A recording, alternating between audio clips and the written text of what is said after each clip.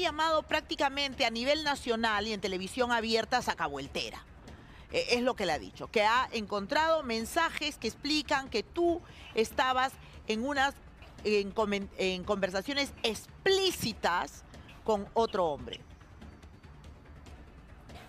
Si él tenía las pruebas, no hubiera tirado la piedra y hubiera escondido las manos.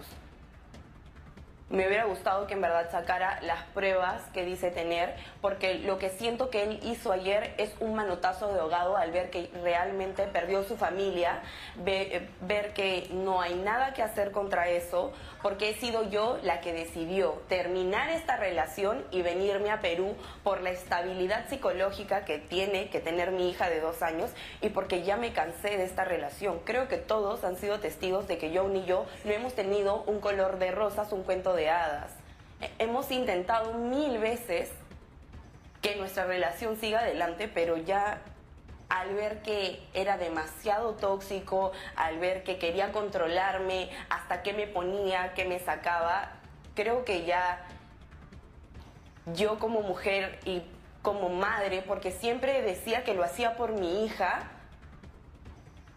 tenía que darme mi lugar y tenía que saber que sola también iba a poder. Es lo que estoy haciendo. Pero Samara, si ya esa relación ya a ti, porque cuando uno, uno sabe, las mujeres sabemos cuando ya, ya no va a una relación, cuando ya nos decepcionamos, nos desilusionamos, cuando ya nos da lo mismo ver o no ver a esa persona, eh, ya nosotras sabemos, pero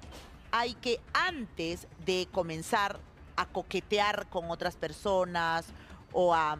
a, digamos, a tener conversaciones un poco más íntimas, pues uno termina, termina con alguien y dice, mira, ¿sabes qué? Hasta aquí nomás y ahora sí puedo escuchar los cantos de sirenas de otras personas. Que tú eres una A mujer joven, que indudablemente, eh, si estás sola la mayor parte del tiempo, de pronto, pues eh, vas a tener eh, galanes que te estén rondando.